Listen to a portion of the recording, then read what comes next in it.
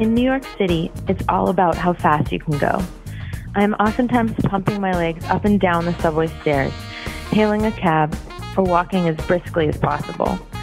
Life may be a whirlwind here, where having time is a luxury, but taking pause, even for a moment, to soak in the marvelous color found in the city's architecture, nature, food, and fashion is incredibly inspiring.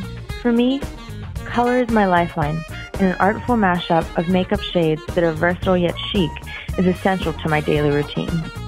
My ideal color palette Lancome's Mauve Cherie color design, a collage quintuplet of lavender, lilac, violet, cream, beige, softened silver, and luxe onyx.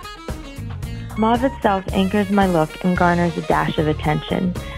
It's a color that can stand its own against my shocking pink Schiaparelli inspired cardigan, as well as my favorite little black dress, all the while providing a rich contrast to my baby blue eyes and, of course, the cityscape that is NYC.